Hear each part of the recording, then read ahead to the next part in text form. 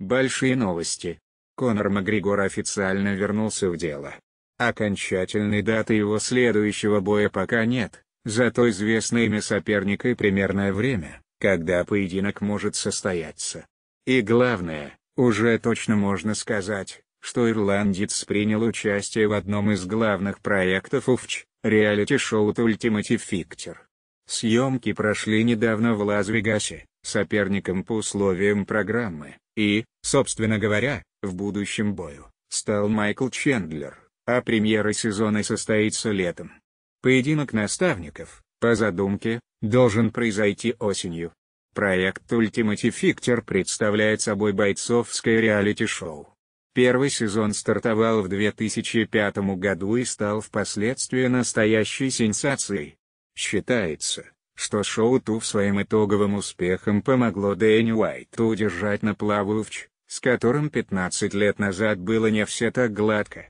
Суть этого реалити была следующей. Восемь средневесов и столько же полутяжей делятся на две команды таким образом, чтобы представители каждой весовой сошлись друг с другом в формате турнира. Обоим коллективам на все время съемок приходилось жить в одном доме напичканном камерами, а также тренироваться под руководством звездных тренеров. Наставниками становились звездовч, которым предстояло подраться в конце сезона. Магригор однажды уже участвовал в Ultimate Fighter. В 2015 году он принял участие в съемках 22 сезона, став одним из двух тренеров на пару с Юраей Фейдером. Примечательно, что тогда Конору не нужно было драться с наставником команды оппонента.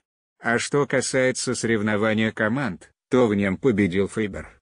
Его подопечный Райан Холл в финале одолел протяжема Макгрегора Артема Лобова. Напомним, Конор Макгрегор не выступает с лета 2021 -го. В июле того года ирландец крайне неудачно провел свой третий бой с Дастином Пори. Макгрегор не просто проиграл досрочно в одну калитку, но еще и получил тяжелую травму, сложный перелом левой ноги. Последние полтора года Макгрегор восстанавливал здоровье и готовил тело к возвращению. Вариантов у него, как всегда, было много, однако последний год среди явным фаворитом был Майкл Чендлер. Американец попал в УФЧ в 2021 году и после всего одной победы подучил бой за титул.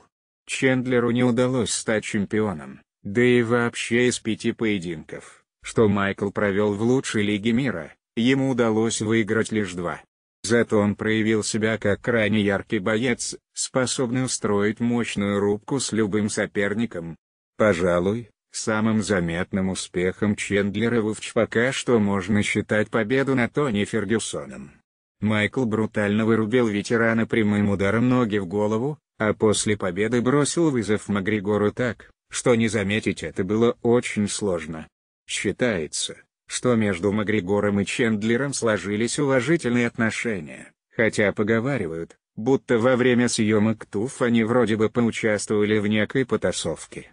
Что касается Майкла, то он не раз отмечал, что считает себя поклонником Конора и почтет за честь разделить с ним октагон.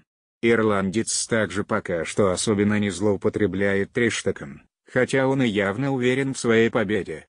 Я слишком мастеровит для Чендлера. Он не дрался с таким бойцом, как я. Он действительно провел несколько классных боев и заработал право бы в топе. Но я имел дело с бойцами его типажа много раз.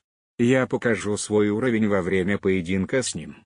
Я сделаю свою работу и покажу всем, «Какая между нами разница в навыках», — сказал Конор в интервью для Майонки. Сейчас Чендлер занимает пятую строчку рейтинга легкого весауч. При этом почти нет сомнений, что Макгрегор в случае победы над ним непременно получит бой за пояс.